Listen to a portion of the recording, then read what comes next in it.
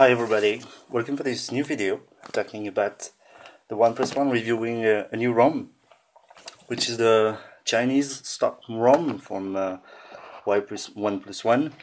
It's the Color OS One. So, um, I've decided to try it because uh, I think uh, it's a ROM that has many great characteristics. Um, so let's go see what we have here. So the screen lock, the lock screen is pretty much the same uh, as uh, the Android stock one, uh, just a, a, slide to unlock. So here it's the main uh, main screen.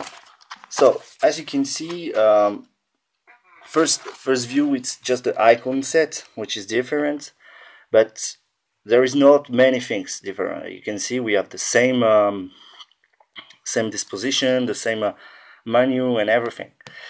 Uh, what is interesting about this ROM that is that uh, is performance uh, under uh, Antutu benchmark, which we'll go right uh, first. No, first we're gonna see which version I'm running. So settings, is it French? So it's multi, it supports uh, multi-language settings, so it's quite good. Uh, sorry, it's here.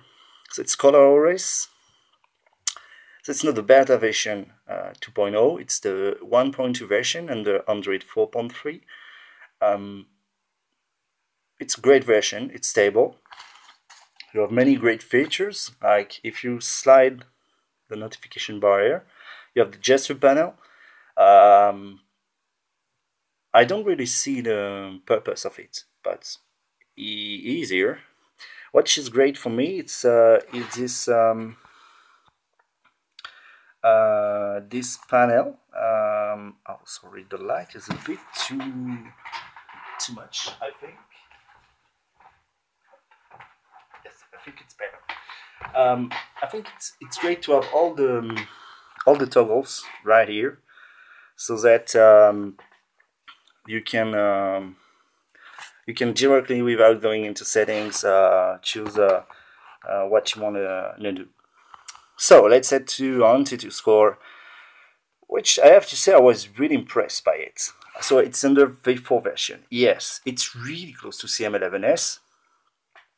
And uh, I'm really impressed uh, by this score. It means that the, the, the ROM is well set for the for this uh, for the, the for the OnePlus, and um, I'm pretty satisfied. So now, what is interesting about this ROM is that, uh, okay, it's made for Chinese market, but you have a lot of pre-installed apps which are, I have to say, maybe interesting. I don't dig a lot, but it's interesting. So you have the phone app, uh, you have the contact, message, email, clock, weather, cloud CloudNote, music, videos, uh, camera app, we'll see it, gallery, um, it's pretty much the same as uh, Android. Chrome. Uh, you have uh, lock now, so you lock the screen, double tap to wake up. Not necessary. A file manager, settings, backup and restoration. Uh, so you can back up your phone and restore it lately.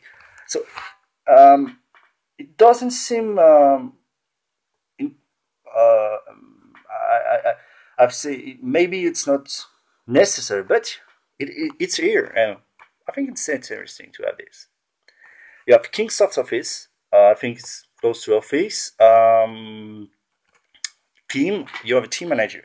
The main thing of this uh, of the ColorOS things is that uh, the team manager. You have a lot of team on it, and you can download it. You can modify everything, like maybe CyanogenMod 11s, but it's a Chinese one. It's really poppy uh, teams.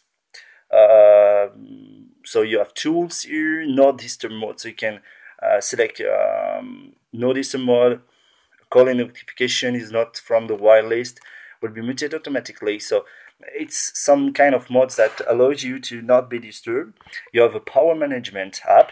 You have a power saving power saving mode, and you have also the um, used uh, already two hours and a half and estimated availability 33 hours.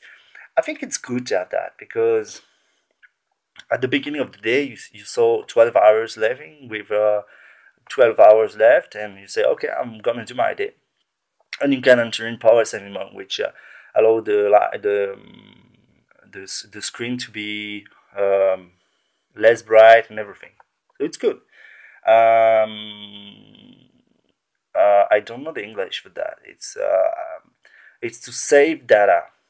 So maybe to reduce data consumption, encryption tools. I haven't tried it. You can encrypt application. Uh, you can enter in guest mode. Uh, I don't know what is that this app. One Plus Turner. Uh, I don't know what it is. Anti-harassment. I think it's to blacklist some number. Information security. Uh, be working on permission and template Okay, uh, so it allows you to manage uh, your app in order to block GPS uh, allow allocation. Uh, so you can um, set you can block certain app to use your uh, GPS information. It's rooted uh, region parameter, and I think it's that's it. So as you can see, it has all the Google apps latest one. So um, all these apps are there. Okay, on the market, on the uh, Play Store, you can find uh, many other apps, but they are there and they're good. So uh, I'm a bit late, six minutes. Uh, let's set to camera. Yes, because everybody has seen this camera is crazy. Um, it's crazy, yes and no. Um, maybe there is a lot of features, um, but yes, it's taking great pictures. But maybe people are saying that because um, I don't know why. It's great, yes, but not as amazing as people are saying. Uh, you have um, yes, you have some features. I uh, so that you can uh, shut down the shutter you have scene mode you have uh, image size so 30 megapixel you have uh, so if you go into video mode you can go to 4k slow-mo uh, so it's pretty much the same as um, the, the, the CN Model 11S uh, one. Just two minutes remaining. So conclusion about this. Great ROM really stable, a lot of performance.